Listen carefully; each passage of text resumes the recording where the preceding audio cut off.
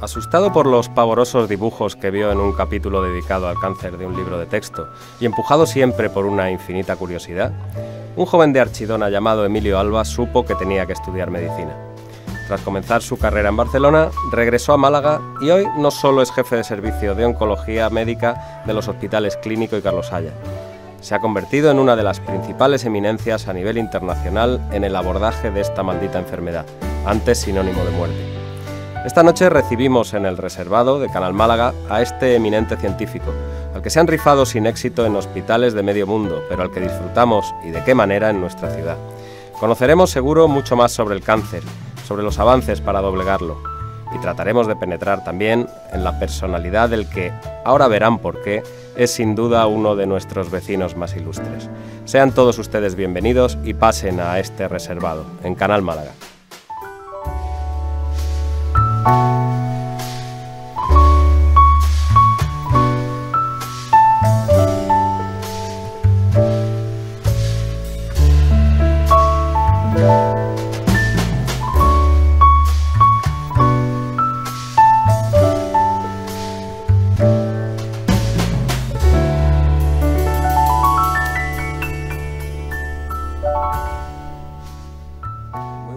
Noches, señor Emilio Alba, de verdad un auténtico placer tenerle esta noche con nosotros en el reservado. Muchas gracias por estar aquí. Buenas noches y muchas gracias a vosotros, Fernando. Bueno, ¿cómo eran aquellos dibujos de ese libro de texto que en su niñez tanto le marcaron para querer ser oncólogo? Uf, eh, bueno, lo recuerdo, o creo que lo recuerdo, aunque dicen que los recuerdos los elabora uno, ¿no? Pero lo recuerdo era un libro de segundo de bachiller, yo tenía entonces 12 años, y había un capítulo, no sé por qué, que era del cáncer, ¿no? Y había un- unos dibujos en, en aquel libro en el que se veían unas células, eh, había varios eh, dibujitos, como poco a poco se metían en el organismo y se iban eh, a otros sitios, a otros órganos del, del cuerpo, ¿no? Hacían como la- lo, lo que, lo que se llama las metástasis. Ahora no sabría yo decir por qué, pero aquel dibujo me, me impresionó. Aquel dibujo de un libro de segundo de bachiller. Eh, me impresionó y la verdad que me dio como miedo. ¿no? Eh, entonces, en realidad a veces uno las grandes decisiones que toma en su vida cuando recapitulas no sabes bien por qué las has tomado, ¿no? Y esto nos ocurre, yo creo, a, a todos, ¿no? Pero muchas veces, y es lo primero que se me viene a la cabeza, es ¿por qué elegiste oncología, no? Y bueno, y he ido contestando a lo largo de mi vida cosas, etcétera, el interés y todo esto, pero siempre recurrente cuando me hacían esa pregunta se me venía esa Aquel imagen libro- a la, a aquel la libro a la cabeza del dibujo del libro de segundo de bachiller, ¿no? De lo que deduzco que de alguna forma en mi cerebro se ha quedado eso como o el origen o que ha iniciado el origen de, de esa elección, ¿no? Es curioso, pero es así. ¿Nunca quiso ser otra cosa que médico? ¿Hubo alguna experiencia también en su entorno que le marcara tal vez para querer ser médico? No, no, no, no, no. En mi familia no, no había médicos, no, nun- nunca hubo médicos ni nadie relacionado con las profesiones sanitarias, ¿no? Mis padres, yo vivía en Archidona, nací allí, mis padres eran agricultores. Es más, yo creo que mi destino iba más hacia una lo que se llamaba entonces perito agrícola, ingeniero agrónomo, algo por el estilo, algo relacionado con lo que era la vida de Archidona en aquella época, ¿no? que era una vida fundamentalmente rural y relacionada con la agricultura, ¿no? de alguna forma. Y, mm, pero no, a mí la- me daba mucha curiosidad siempre la, la- la- biología, las ciencias biológicas, ¿no? Y me llamaron mucho la atención. Y entonces, en un, en un momento determinado, pues, se lo dije a mi padre, él pensaba otra cosa acerca del futuro, y entonces empecé a estudiar medicina. Pero no, no había antecedentes en la familia de, de esto. ¿A su padre le gustó esa opción? Sí, hombre, a, la- a ver, la carrera de médico eh, siempre es una carrera que a todo el mundo le gusta por motivo obvio, ¿no? Al- Alguna vez en la vida enfermamos y cuando enfermamos nos gusta que haya cerca alguien que nos eche un cable, ¿no? Eh, y entonces yo creo que le gustó. Le daba un poco de miedo porque, como digo, toda mi familia había estado relacionada con la agricultura siempre, ¿no? Y entonces yo creo que él, él veía como una cosa más, eh, digamos, realista el, hacer algo relacionado con esto. Pero sí, no, yo creo que le gustó y él siempre me apoyó en todo lo que a partir de ese momento de forma clara. ¿no? Doctor, usted ha definido la lucha contra el cáncer como una guerra global. ¿Sería capaz de darme el parte de guerra a día de hoy? Sí, es una guerra global. El cáncer, eh, por ponerlo en la perspectiva del, de, de, qué es los destrozos que ocasiona, yo creo que ahí ha, habido ahora un, momento muy importante que ha sido la pandemia, ¿no? Y, por ejemplo, cuál ha sido el destrozo del cáncer con respecto a, la pandemia, ¿no? Y vamos a centrarnos en la provincia de, Málaga, ¿no? La provincia de Málaga, eh, el cáncer mata cada año el doble de personas que ha matado toda la pandemia en los últimos dos años en la provincia de Málaga, cada año. Por tanto, yo creo que el, efecto está claro por comparación. Yo creo que ahí la gente se puede hacer una idea. Eso sin nombrar el sufrimiento que causa en los pacientes y en sus familias. ¿no? Por decir, es la causa más frecuente de muerte y la primera causa de muerte en personas por debajo de 65 años. ¿no? Y esto es importante. ¿Cómo está el parte? Yo creo que vamos ganando, pero poco a poco podríamos ganar un poquito más rápido si eh, se invirtiera un poquito más en investigación y si se afinaran un poquito más los circuitos, porque claro, el cáncer no es solo una cuestión de tratamiento, es una cuestión de eh, hábitos de vida, fundamentalmente, es una cuestión de eh, diagnóstico precoz, de poner en marcha todos los programas de diagnóstico precoz que se pueden y si a pesar de todo eso ocurre la enfermedad, de tratarla de la manera más adecuada posible. Vamos ganando, pero poco a poco. La pandemia sin duda nos ha dejado una lección eh, insustituible y es que cuando se quiere, se puede. Todos los esfuerzos durante unos meses han estado destinados a lo mismo y se ha llegado a, una vacuna contra este temible coronavirus en, un tiempo récord. ¿Le duele a usted que con el cáncer no pase lo mismo? Hombre, eh, me me llama la atención. Es un hecho, ese es un hecho objetivo, ¿no? O sea, una, una vacuna revolucionaria, porque una vacuna de RNA mensajero. No había habido vacunas de estas eh, antes. ¿eh?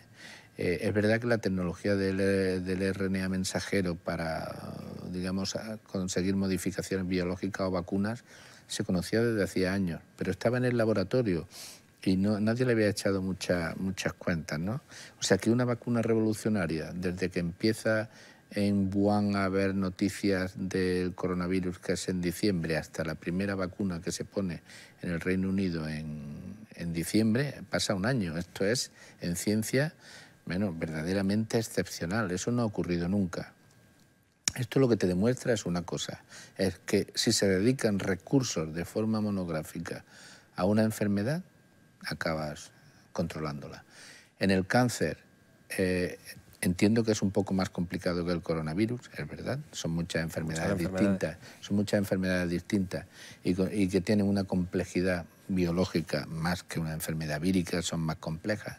Pero lo que no cabe duda es que si eh, se invirtiera al ritmo o parecido que se ha invertido en el coronavirus en este tiempo, desde luego ese eh, ir ganando el partido lo haríamos mucho más rápido, no cabe la menor duda.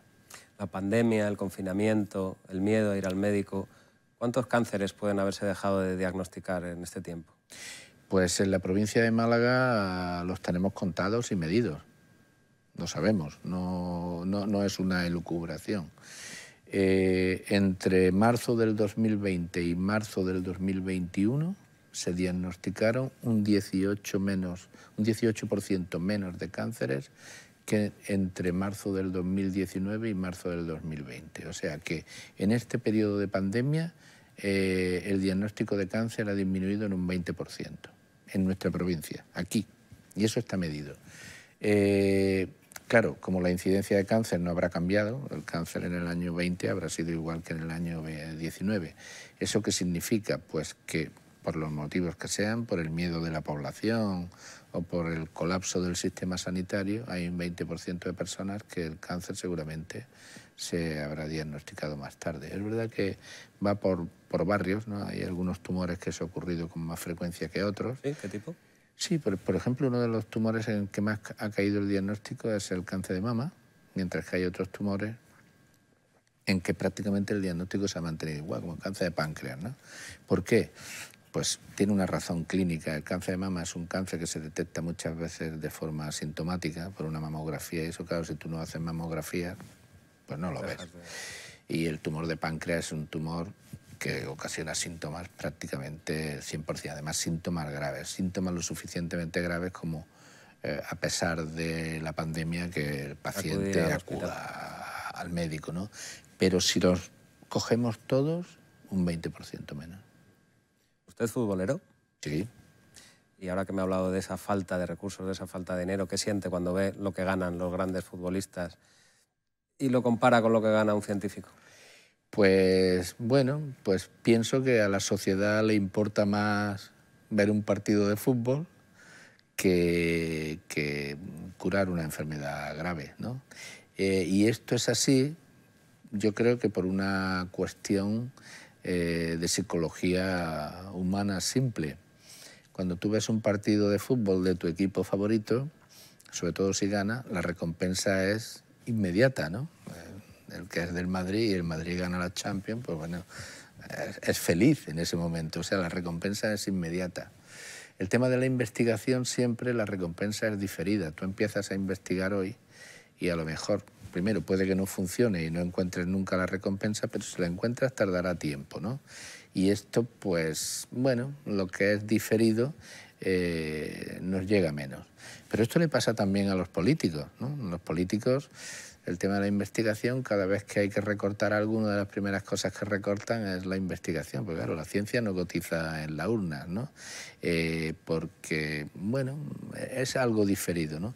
Y también cuando se refieren a la investigación, no se refieren, por ejemplo, a un político le encanta mucho más abrir un centro y que se vea, inaugurarlo, etcétera, que crear un programa de, digamos, de capital humano, de fichar capital humano, ¿no? que eso no se ve, pero que a lo mejor a 15 años tiene muchísimo más impacto sobre lo que pasa en un determinado ecosistema. ¿no? Las cosas que tardan a todos nos cuestan, a, los, a, las personas en particular y al que se dedica a la política eh, también ocurre eso.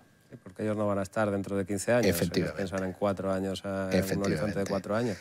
Pues fíjense qué importante hubiera sido y que quizá es usted optimista.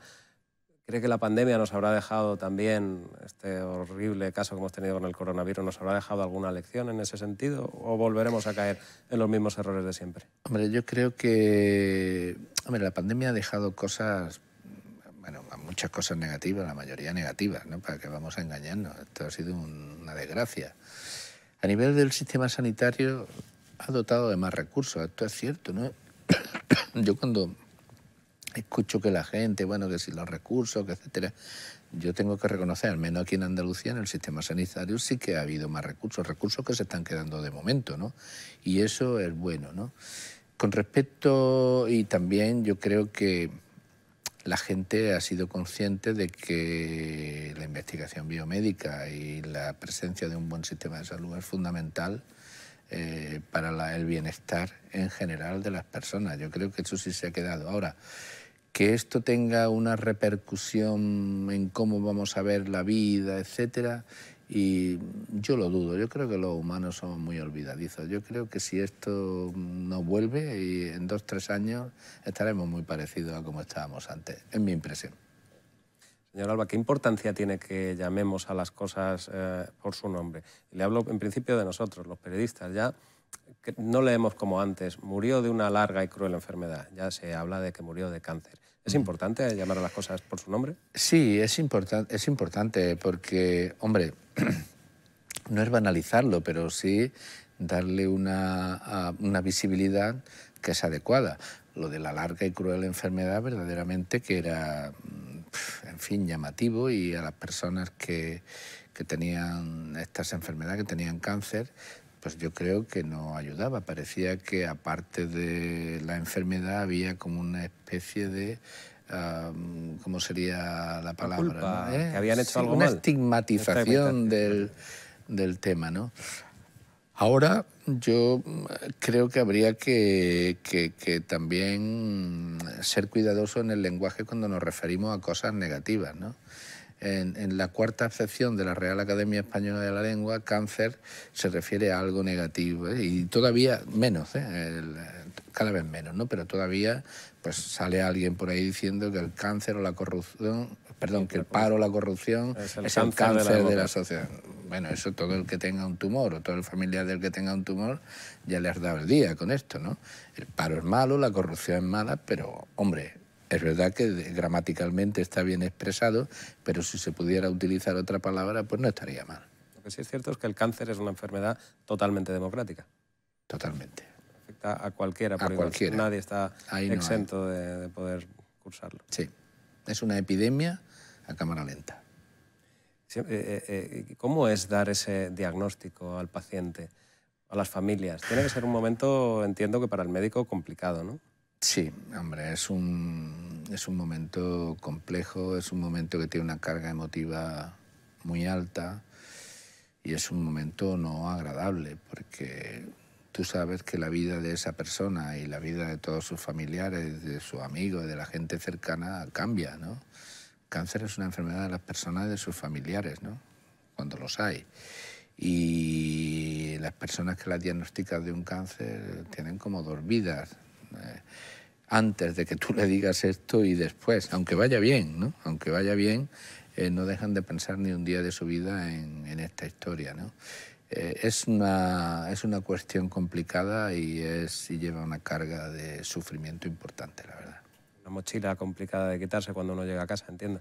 Sí, hombre, a todo te acostumbras, ¿no? A todo te acostumbras e intentas poner en contexto todas las cosas, pero no puedes olvidar todo lo que dice al cabo del día. Cuando le tienes que dar una mala noticia a alguien, eso te lo llevas. Es como intentar no mancharte de grasa en un taller mecánico de coches, ¿no?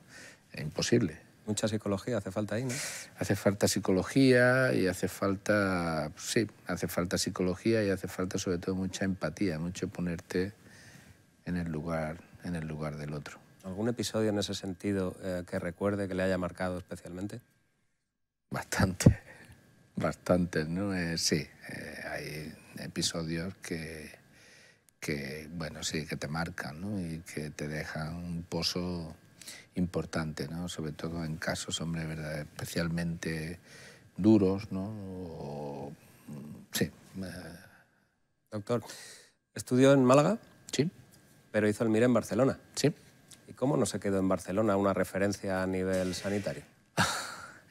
Pues, a ver, eh, yo estudié en Málaga y hice la residencia en el Hospital de Santa Cruz y San Pablo de Barcelona. Me encanta porque yo eh, fueron profesionalmente una de las mejores etapas de mi vida ¿no? y le estoy enormemente agradecido a Barcelona y a Cataluña eh, en ese aspecto. Pues yo me vine a Málaga por cuestiones estrictamente personales, ¿no? Eh, mi mujer, estábamos ya casados, teníamos allí hijos pequeños y en un momento determinado, pues tengo que decir que ella, eh, por decirlo de alguna manera, no se lo vio venir. ¿Sí? Sí. Y estamos hablando de finales de los 80, 90, sí, sobre todo en el tema de la lengua.